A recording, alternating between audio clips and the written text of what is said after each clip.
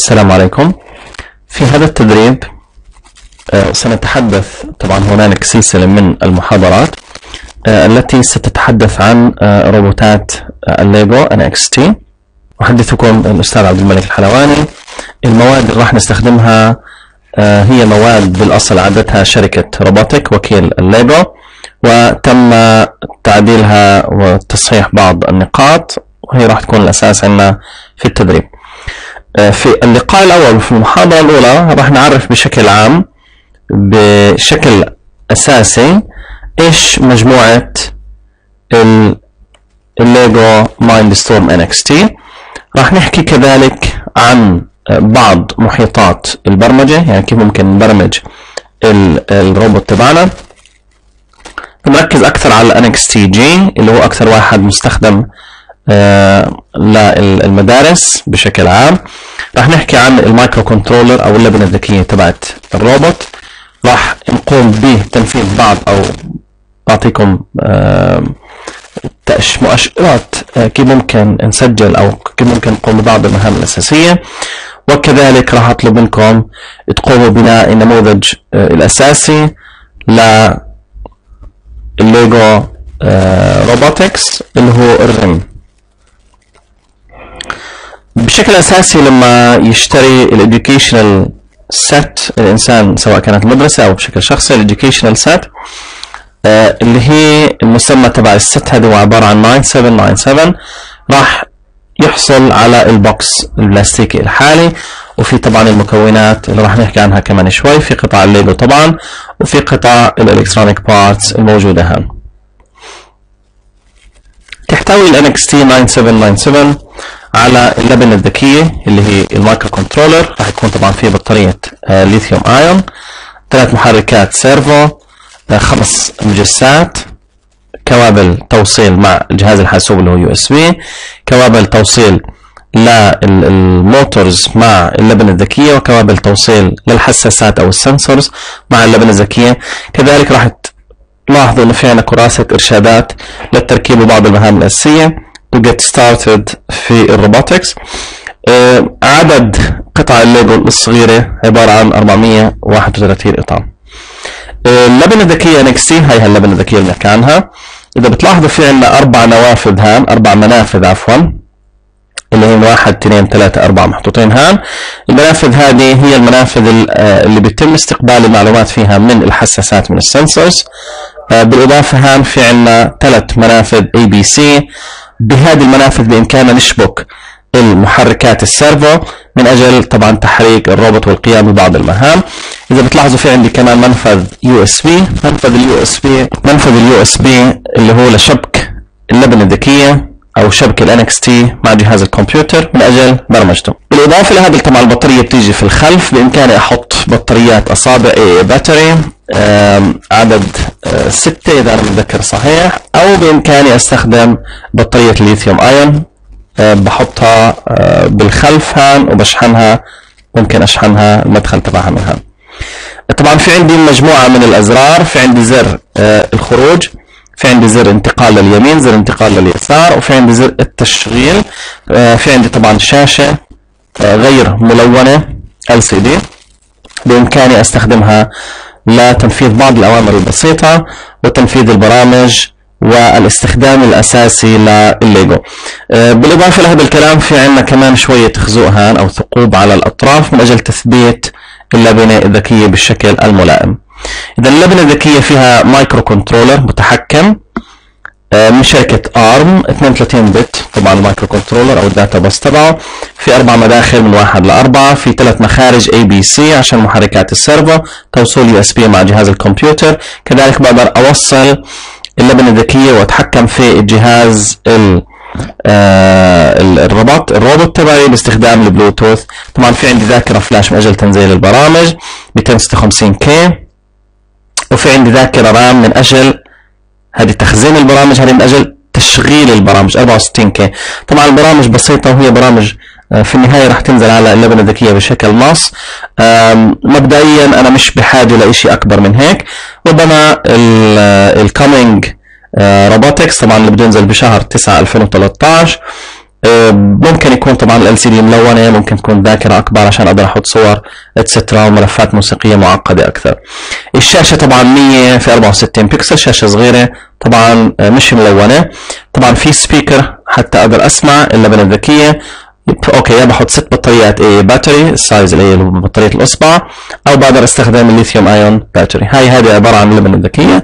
المنيو الأساسي لها مثل ما أنتم شايفينها إذا شفناها إحنا آه هذا ال top view هذا عبارة عن ال top view لكن إحنا هم بنشوفها آه كنا شايفينها isometric هلا بنشوفها top view ال speaker بلا شك واضح تماما إنه هان ال ports البيانات ال output ports ال USB عشان اشبك على جهاز الكمبيوتر ال input ports بعدين في عندي ال control keys الزرار التحكم.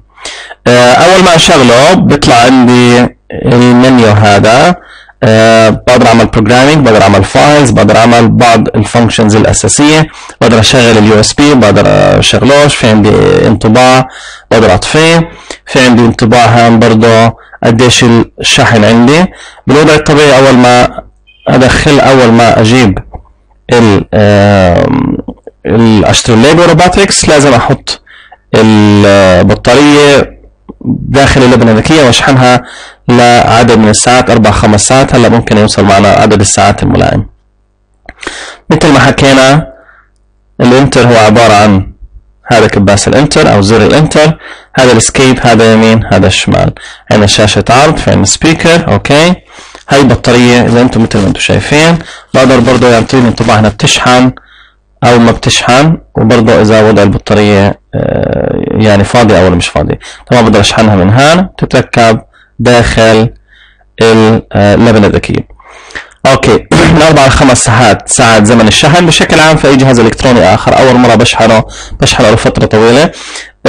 شخصيا ما شفتش أي آه، توصية من شركة ليجو لكن بناء على خبرتي بأجهزة الحاسوب وغيرها من الأجهزة الإلكترونية بنصح بشحنه آه، ليلة كاملة 12 ساعة على الأقل. لأول مرة طبعا أول مرة آه، بستخدم قطع ال NXT بعدين بصير بشحنها حتى تمتلئ. ملاحظة مهمة كثير استخدام المحولات المقدمة من ليجو بالرغم انها ثمنها شوي غالي. طبعا المحول بيجي منفصل عن ال 9797 فبشتري محول ثمنه بتراوح طبعا من 50 دولار لأكثر من ذلك. شوي المحول غالي كان جاي من شركة ليجو لكن أنا بنصح باستخدام محول حتى نحافظ على البطارية وحتى نحافظ على ال NXT المحولات آه الأقل جودة. ممكن نوجد آه نلاقي محول عند أي كهربجي لكن بيكون الثمن أقل لكن قد يكون الثمن هو خسارة البطارية أو خسارة اللبنة الذكية okay.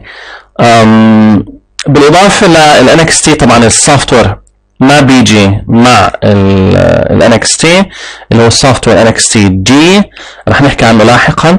بالإمكان طبعا شراءه ثمنه طبعا يتفاوت من بلد لآخر من شركة ليجو أو وكلائها أو بالإمكان تنزيل NXT 2.0 طبعا ال latest 2.1 NXT G.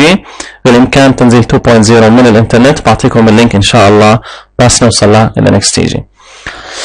بشكل عام المجسات والتحكم مثل ما حكينا في عندنا مجموعة من الحساسات عندنا خمسة حساسات أربع أنواع مختلفة. الحساسات آه تشابه آه الإنسان الحواس عند الإنسان عند الإنسان مثل ما الروبوت يحاكي إلى حد ما الإنسان. إذا في عملية استقبال للمعلومات في عملية processing عملية معالجة للمعلومات وعملية إخراج أو استخدام هذه المعلومات بالتحكم بالمحيط. فمثلا آه، أنا في عندي عين هذا الحساس البيولوجي موجات كهرومغناطيسية في له مقابل صناعي. هلأ بنحكي شوي عن الحساسات المتوفرة. طبعا مش كل هذه الحساسات متوفرة في جهاز الليجو.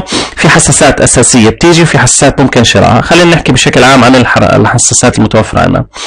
طب محركات ال servo. محرك ال servo هو من ضمن المحركات اللي أنا بقدر أتحكم بعدد آه، دورات المحرك اللي أنا بدي إياها. تمشي؟ آه، المحرك ال servo آه، لا بأس فيه هو محرك قوي. مش أقوى المحركات يعني هو بشكل عام لا يستخدم في التطبيقات الصناعية لكن بالنسبة لنا كإشي تعليمي لا بأس فيه. إذا محرك ال servo بإمكاني أتحكم بعدد الدورات اللي بقوم فيهم المحرك وكذلك عدد الدرجات عدد الدرجة المئوية اللي بلفها المحرك. طبعا على المستوى الصناعي بيستخدموا أنواع محركات أخرى بسموها stepper motor ال stepper motor ممكن آه، ألاقيها بأحجام أكبر من ال servo motor المتوفر عندنا وكذلك آه، بتكون أقوى لكن ال stepper motor بيشتغل على ال steps. يعني بقدر يتحكم بال steps اللي بلفهم آه، ال motor وال concept تبعه مختلف. طبعا ال servo motor أنا هم بعتبره حساس له لأنه في عندي نوع من ال feedback عندي نوع من التغذية الراجعة للبنة الذكية بيقول لي أنا قديش مشيت. عشان أقدر أحدد. قديش أنا مشيت طبعا في عندي هان كذلك ثقوب عشان أقدر أشبك ال servo motor هاي البنية الداخلية تبعت ال servo motor مثل ما حكينا بقدر أحدد كم من درجة مئوية بلف عند الموتور إذا في عندي مجس للزاوية الدقة تبعته درجة واحدة. يعني بقدر أعطيني إذا مشيت درجة درجة درجتين درجتين ثلاثة. مجس اللمس طبعا في عندي 9797 أو الكيت تحتوي على مجسين لمس. مجس اللمس مثل ما هو ظاهر أمامكم. في عندي هان الأداة تبعت مجس اللمس وطبعا بشبكوا على 9797 أو بشبكوا على اللبنة الذكية باستخدام كوابل من الطرف الآخر. هاني في عندي مجس اللمس في ثلاث حالات ضغط مضغوط أو محرر متروك. ضغط تحرير تصادم أو بلس بأنه انه بيصطدم بشيء آه، مرة واحدة. طبعا زي أنتم ملاحظين في عندي هان شق بقدر أدخل عليه بيم آه، هان عمود بحيث إنه آه، مش فقط هذا الرأس اللي لازم يلامس الجسم ممكن يكون مشبوك معه عمود بحيث إنه العمود نفسه لو لامس الجسم بيتأثر مجس اللمس اذا يا بيكون محرر متروك زي هيك هي state هي حالة من الحالات أو بكون اللي داخل جوا مضغوط هي حالة ثانية أو إنه بيعمل خبطة صغيرة هيك هذه حالة ثالثة باستخدام البرمجة بقدر اميز بين الثلاث حالات هذه. إذا في عندنا مجسين لللمس. في عندي ال light sensor أو المجس البصري آه مثل ما هو بيظهر أمامكم. في عبارة عن ضوين في ال light sensor ال light sensor بيوجد آه أو بقيس درجة شدة الإضاءة في المحيط. هنالك نوعين طبعا في حالتين له في عندي بقدر اقيس الضوء المرتد يعني واحدة من ال lights ال LEDs هان بتبعت ضوء وواحدة بتستقبل الضوء فبالتالي بقدر اقيس الضوء المرتد. آه، حالة ثانية بقدر اقيس ال ambient ال ambient اللي هو الضوء في المحيط. هلا بشكل عام هذا أقل فعالية من الخيار الأول لطبيعة ال sensor هذا وكمان مرة هدول ال sensors مش مستوى صناعي لكن مستوى تعليمي مقبول أو بنقدر نعمل فيه نماذج لبعض الاختراعات الخاصة فينا prototypes اذا نفترض إنه أنا برسل ضوء على سطح أبيض السطح الأبيض كلنا نعرف إنه بيعكس الضوء بجودة عالية كثير فبالتالي راح يكون في عندي شدة الانعكاس عالية كثير أو النسبة المئوية للانعكاس عالية كثير. لو في عندي سطح أسود مثلا نسبة الانعكاس راح تكون آه، أقل بكثير من الأسود قاتم بيمتص الضوء. بقية الألوان يتفاوت مستوى الانعكاس وبالتالي إلى حد ما بشكل بسيط بقدر أميز آه، إذا كان الضوء إذا كان عفوا اللون أحمر مثلا أو إذا كان اللون أخضر أو غيره. هلأ في مجس آخر اللي هو مجس الكالر سنسور أو مجس الألوان. في دقة أكثر فيما يتعلق بالتمييز بين الألوان. إذا مجس البصري أو مجس الضوء آه، بميز بين إن الضوء المنعكس عالي أو واطي وبناء على هذا الكلام بقدر أميز بين الألوان بشكل بسيط. لكن إذا أنا معني أميز بين الألوان بشكل دقيق الأحمر الأخضر الأصفر الأسود الأبيض بستخدم حساس أو مجس آخر ألا وهو مجس الألوان color sensor color sensor بتشتروه لوحده مش متوفر من ضمن ال kit 9797 اذا المجس الثالث مجس ال ultrasonic ال ultra أو ال ultrasound سنسور أو الفوق أو بعد صوتي فوق صوتي. آه مثل ما أنتم شايفين هان برسل موجات فوق صوتية. برسل موجات فوق صوتية بتصطدم في الأجسام وبترجع له. برسل نبضات فوق صوتية بترتد في الأجسام اللي أمامه. ومن ثم تعود النبضات الصوتية له وبقياس سرعة النبضات الصوتية وزمن الوصول بيقدر يعرف المسافة. إذا إحنا بنعرف السرعة وبحسب الزمن هو في عنده timer بقدر أوجد المسافة اللي بتفصل بين المجس الفوق صوتي وبين الأجسام المقابلة له فإذا مجس ال ultrasonic أو ultrasound أو الفوق صوتي يستخدم لقياس المسافات فيما بين ال sensor أو فيما بين الروبوت وما بين الأجسام المقابلة له بقدر أقيس بالسنتي والإنش بقدر أقيس بالسنتي والإنش إذا أقصى مسافة بقدر أقيسها 255 دقة القياس plus minus 3 سنتي متر لا بأس فيه. يستخدم عادة للتعرف على البيئة المحيطة للروبوت إذا المجس الرابع مجس الصوتي مجس الصوتي إيش بيشبه؟ مايكروفون. إذا المجس الصوتي إلى حد ما بيشبه الميكروفون. لكن المجس الصوتي بدل ما يحول الصوت لإشارة كل اللي بيعمله بقيس شدة الصوت شدة ال... يعني بعطينا نسبة مئوية بناء على الضجيج اللي موجود في البيئة المحيطة. بشكل عام الملف الصوتي عفوا المجس أو الحساس الصوتي لا يستخدم في المسابقات اللي هي ال FIRST LEGO League اللي عادة آه، هي الدافع وراء شراء ال 9797 آه ليه؟ لأنه عادة بتكون إحنا بنعمل المسابقة في قاعة وبكون في ضجيج عالي كثير وتشجيع فلا يستخدم بشكل عام. لكن هناك الكثير من الفعاليات والمهام اللي بتعتمد على المجس الصوتي. بصراحة آه، حلو كثير لما الروبوت تبعكم يتفاعل بناء على الضوج أو الضجيج أو بناء على الصوت تبعكم. طبعا بقيس بمقياس شدة الصوت اللي هي بالديسيبل. هذه هي النسب بشكل عام لهذا الحساس. الكوابل بشكل سريع إذا في عندنا أربع كوابل. للحساسات في عندنا ثلاث كوابل ال sens- sorry ال servo motors اللي الموتورات وفي عندنا كمان كابل USB بيشبك اللبنة الذكية على جهاز الكمبيوتر من أجل البرمجة وغيرها. لغة البرمجة اللي هو لغة البرمجة view هي لغة برمجة بسيطة كثير مثل ما هو ظاهر أمامكم هان ومثل ما ظهر في ال slides أو الشرائح السابقة إنه أنا بقدر أشغله فبالتالي بقدر أدخل من ضمن الخيارات هان على آه، Next NXT Program. إنه أنا بقدر أدخل على البرمجة بتم أو شيء بضوي الجهاز بشغل ال microcontroller أو المتحكم أو المراقب. بروح على ال NXT program بعدين بعمل enter بس أعمل enter في عندي خيار برمجة برنامج. البرنامج بشكل عام عبارة عن أربع البرنامج بشكل عام هو عبارة عن ناش ليزر بدنا pointer بان هي عبارة عن أربع صناديق. طبعا هذا مش مش مربع. عادة المهندسين رسمهم ضعيف. أربع أو خمس إذا أنا متذكر صحيح. البرنامج view اللي بقدر أبرمجه عن طريق اللبنة الذكية مباشرة بدون استخدام أي software هو برنامج بسيط كثير.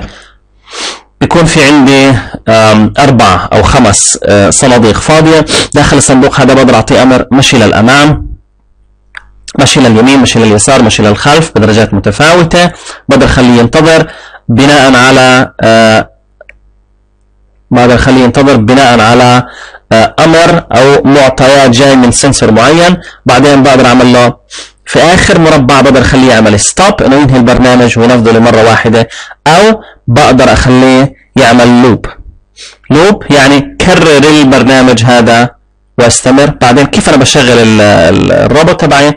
بضغط على بروح على البرنامج وبضغط على تشغيل باستخدام ال enter اللي هو الزر اللي لونه برتقالي تمرين بسيط. الكل طبعا بتوقع إنه أمامه ال NXT 9797 تشغل ال 97 باستخدام آه، زر ال enter. بتروح باليمين حتى توصل ل آه، بتمك تلف باليمين باليمين حتى تصل ل آه، خيار NXT program بتضغط عليه طبعا okay هذا في كمان شيء ثاني okay قبل قبل حتى البرنامج يعني okay أنا شرحت كيف تبرمجه. لكن في أمر اسمه view بالإضافة للبرمجة اللي شرحتها أنا it's okay فيش مشكلة. بالإضافة للبرمجه اللي شرحتها أنا في أمر view اذا بشغل حساء بشغل ال- ال- اللبنة الذكية. بتم أدور على شيء اسمه view view اللي بيعمل إنه بيقرأ الحساسات والقيم تبعتها. هلأ آه، أول ما تشغل البرنامج بيجي بيقول لك آه، واحد مثلا لحساس كذا اثنين حساس كذا ثلاثة لحساس كذا أربعة لحساس كذا. فهو مبرمج داخليا إنه يستقبل معلومات الصوت من رقم من port معين. فبعمل view بحدد بعمل view لأي حساس بشبك الحساس وبعدين بعمل enter بصير يقرأ الشدة تبعت حساس الصوت. بصير يقرأ الشدة تبعت حساس الضوء. بصير يقرأ تبعت ال ultrasonic اللي هي المسافات. فبالتالي أنا هيك بهذا التمرين إن شاء الله نكسر الحاجز مع ال NXT اذا كمان مرة خلينا نراجع بلا يصير في confusion فيما يتعلق ببرمجة اللبنه الذكيه هو حقيقة مش لغة برمجة لكن في أمر اسمه view في أمر اسمه view أول ما بشغل اللبنة الذكية بتم أروح يمين أو شمال حتى ألاقي view view كل اللي بيعمله بيقرأ من الحساس. كل حساس بنشبك على port محدد. اللبنة الذكية نفسها بتكون كاتبة إنه ال port واحد له هذا الحساس. ال port الثاني لا الحساس الثاني أو الثالث والرابع. فبقرأ قيم الحساسات حتى أكسر الحاجز. بالإضافة لهذا الكلام هنالك لغة برمجة. مثل ما أنا ذكرتها بتكون اللي مكتوب العنوان تبعها NXT program. بكون عندي عبارة عن خمسة مربعات. فا- فارغة بقدر أشبك ال بقدر أحدد الأمر داخل كل مربع. إذا بقدر اعطي خمسة أوامر آه، في الأوامر الموجودة عادة هي نوعان. أوامر تحريك forward left right backward بعدين في عندي wait اللي هو انتظر سواء بوقت أو انتظر بناء على قيمة من حساس. بعدين بمشي بمشي وآخر واحد بعطيني stop بعطيني stop أو loop اللي هو تكرار. نعود لهذا الشيء عندما بدنا نتحدث البرمجة. إذا محيطات البرمجة أو كيف أنا ممكن أبرمج ال NXT ال NXT ممكن يتبرمج بال NXT جي أو NXT Mindstorms جي أو Next Generation. اختصار ل Next Generation اللي هو عبارة عن لغة برمجة راح نتحدث عنها كمان شوي. وراح نخصص كل وقتنا لإلها لأنه هي هي المعتمدة بشكل عام في المدارس. في كذلك RobotC هي تعتمد على بشكل أساسي على لغة البرمجة ال C. لكن هي مبسطة كثير وفي أوامر جاهزة للتحكم بالروبوت. هذه عبارة عن command line يعني أنا باجي بكتب نصوص زي لغات برمجة. بينما بال NXT G هي عبارة عن D and D drag and drop بجيب مربعات وكل مربع بيمثل أمر من الأوامر. كذلك بالجامعات وبالأعمال الهندسية حتى بالشركات في شيء اسمه ال LabVIEW من شركه من شركة National Instruments إذا أنا متذكر صحيح. ال LabVIEW هو عبارة عن لغة برمجة معقدة كثير يشبه ال MATLAB كذلك لغات برمجة على مستوى هندسي آه، في آه، إلها إضافات خاصة بالروبوت آه، الليجو روبوت اللي هو NXT آه، بشكل عام ال NXT G الواجهة تبعته كما هي. راح أشغل البرنامج طبعا أنا نزلته عندي. كمان مرة البرنامج بقدر انزله من الإنترنت ف no worries هلا بعطيكم ال link تبعه. نحكي عنه لاحقا بس ال NXTG based يعتمد مبني على ال LabVIEW بتعاون بين شركة ليجو وشركة ال ال LabVIEW ال NXTG سهل جدا. drag and drop لكن بالرغم من سهولته إلا أنه بعطينا مفاهيم البرمجة الأساسية وهذا ما يلزم طلاب المدارس في هذه المرحلة. أم، مش مطلوب من طلاب المدرسة في المرحلة هذه يعرفوا التفاصيل تبعت البرمجة على مستوى لغة ال C مثلا لكن مطلوب منهم يعرفوا ال logic المنطق خلف عمليات عملية البرمجة. اللي هو بيكون في عندي متغيرات variables. بيكون في عندي ال switch ال conditional if إذا كان فإن. كذلك بيكون في عندي مفهوم التكرار. مفاهيم الأساسية موجودة بهذه اللغة. يعني بالإضافة لكون الطلاب بيشتغلوا بال- بالليجو بال robotics بينبسطوا بنفذوا بعض المهام العلمية. بالإضافة لهذا الكلام برضه بأخذوا المنطق تبع التفكير ال- البرمجي أو ال logical thinking وال critical thinking بالإضافة لهذا الكلام. ال NXTG بشكل عام برضه فيها مهام حتى تساعدنا to get started في 39 مهمة. آه في دليل داخل NXT يعني فيش داعي أنا أروح حقيقة أدور على videos و tutorials بالرغم إنه في يعني في أربع tutorials موجودين من آه، السعودية. الشركة المسؤولة عن مسابقة ال FLL ممتازين كثير. شفت tutorial باللغة الإنجليزية كذلك ممتاز. لكن ما سوى ذلك في القليل من ال tutorials السبب إنه ال NXT G نفسه آه، بيشرح نفسه بنفسه. طبعا في عندنا مستويان من الصعوبة. في عند ال common palette وال complete palette يعني في آه، البلوكات أو المرب أو الصور المختصرة وفي الصور الكاملة. إحنا نستخدم الصور المختصرة بالتدريب تبعنا. تعتمد على ال LabVIEW ال RobotC كذلك أنا نزلت trial version عندي. مش صعب لكن لانسان خلينا نقول المرحلة نعتبر المرحلة الثانوية اللي هي ما قبل الجامعة حتى يدخل الإنسان أكثر ويكون أقرب لل actual لغة الكمبيوتر الأكثر حقيقية يعني مش مجرد صور ومربعات أنا بجيبها من اليمين لوسط البرمجة إلا إنه أنا بدخل هان وبكتب lines بكتب commands طباعة. حتى يكون في تحكم أكثر بجهاز الكمبيوتر. okay RobotC نتركه لكم ال LabVIEW اذا في له إضافة أو toolkit من تي من شركة ليجو. وال LabVIEW حتى أقدر أبرمج على NXT. شخصيا ما استخدمته استخدمت ال LabVIEW.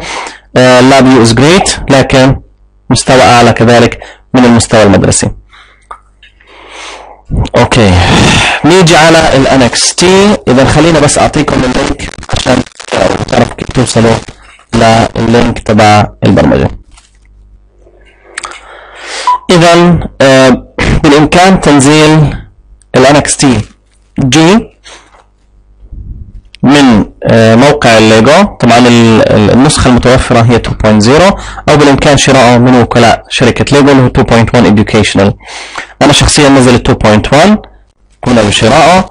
لكن قبل ذلك كنت منزل NXT حجمه زي 600 ميجا. بنزله بنزل عبارة عن image ISO file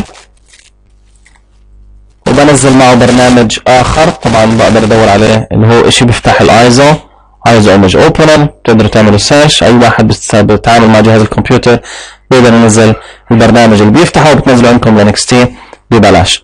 NXTG آه طبعا ال link هذا أنا بحطه إن شاء الله بال comments أو بحطه عندي بالوصف تبع الفيلم فلا تقلقوا. أو بامكانكم تدخلوا على الجوجل وتعملوا NXTG download 2.1 أو 2.0 download for free راح تقدروا توصلوا لهذا ال link. نعود.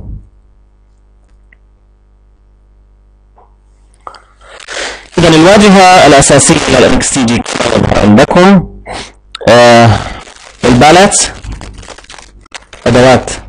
البرمجة الأوامر موجودة عندي إلى اليسار. اسم البرنامج موجود في النص. ال tutorials ال tutorials والمهام اللي أنا بقدر أنفذها مع الدليل تبعها موجود إلى اليمين والبرنامج راح يكون في المنتصف.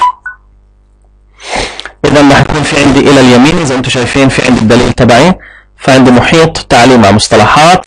في ال common palette اللي حكينا عنها اللي هي عبارة عن الأوامر المختصرة واللي أنا عادة أنا بحب أستخدمها لأنها تكفي لمعظم المهام والفعاليات اللي بنعطيها عادة بالتدريب.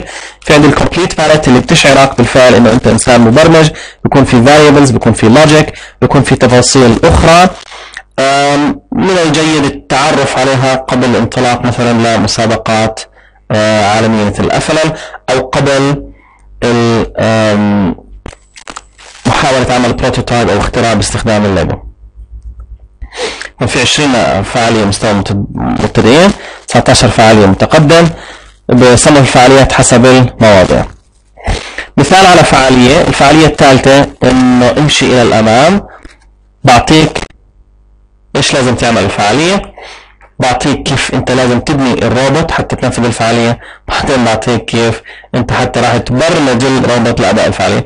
طبعا بناء روبوت عملية معقدة ليست سهلة لكن موجود الدليل بصير آه، مجرد لعبة حقيقة. لكن بناء روبوت من الصفر هو عملية تحتاج إلى ذكاء ودقة وعملية هندسية شاقة. جميل. إذا الشاشة المركزية في المنتصف آه، في عندي طبعا فيلم بسيط بفرجيك كيف تشبك. البرنامج وتنزله على ال brain أو ال controller getting started. برضه في عندي software overview بحضر الفيلم. مش مخسر. طبعا اسم البرنامج بقدر نحط هذا محيط البرمجة مثل ما بيظهر أمامكم هذا عبارة عن ال common palette أو الأوامر المستخدمة أكثر شيء. آه رح نحكي عن الأوامر بشكل آه سريع. خلينا نشوف ممكن أحكي عنهم هلا. أو في اللقاء الثاني. كل اللي بعمله drag and drop بمسك الأمر وبحطه في المربع. وبعدين بعمل بعد هاي شريط الأوامر بعدل على الأمر تبعي. إذا في أيقونات لاختيار أنواع الأوامر. هي محيط البرمجة. طبعا في أوامر هي للربط في عفوا للربط فيما بين البرمجة وما بين اللبنة إذا بدي أنزل البرمجة على اللبنة الذكية إذا بدي أشغل اللبنة الذكية مهم رقم واحد الجميع يشغل برنامج NXT G. وينفذ الفعالية الأولى خلينا إذا نشغل برنامج NXT طبعا عندي 2.1 ونفذ الفعالية الأولى. أوكي.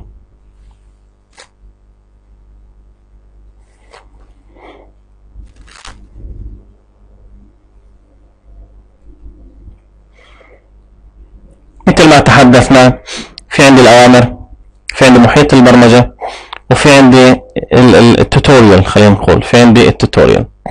طبعا في عندي فيلمين هام بحضرهم واحد get started وواحد عن ال software هاني بقدر أحدد اسم البرنامج في بنسميه إيش؟ my first program أو Hello World whatever first go اذا هذا عبارة عن محيط البرمجة.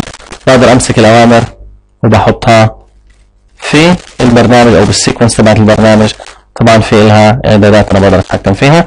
آه المهم المطلوب منكم يا جماعة الخير تيجوا على في عندنا عدد من الفعاليات. هي sound display مش فعالية مغرية كثير. بروح على الفعالية رقم ثلاثة. اللي drive forward في عندي ال challenge brief إيش لازم أعمل؟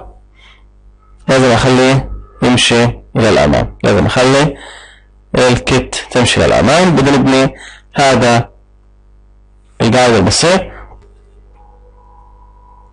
هاي بعطيكم دليل كيف راح تبنوه.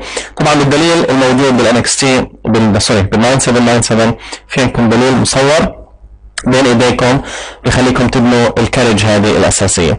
بعدين معطيني ال programming guide شو لازم اعمل اذا بطلب من الجميع يقوم بهذه المهمة. خلينا نتقدم إلى الامام اذا هذه المهمة الاولى الجميع يقوم فيها. كذلك مهمة رقم اثنين يقوموا فيها. sorry هذه ال palette إحنا حكيناها دقيقة واحدة.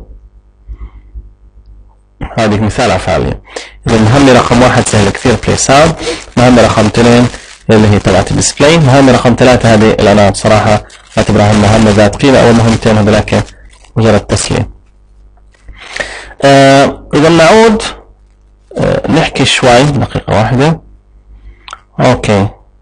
نحكي هذا المحاضرة الثانية لكن قبل ما ننهي أنا حابب أحكي لكم بشكل بسيط عن الأوامر المتوفرة في الإكستنجين الأوامر هي كما يلي. في عند الأمر موف اللي هو التحكم بال motors في عند الأمر record أو play إذا بدي أسجل صوت أو أشغل صوت. في عندي دقيقة واحدة. Sample text. sorry هذا الأمر للموتور. هذا الأمر لل movement تبع الموتور. الأمر record أو play بعمل recording لل movement بعمل recording لل movement تبعت الموتور.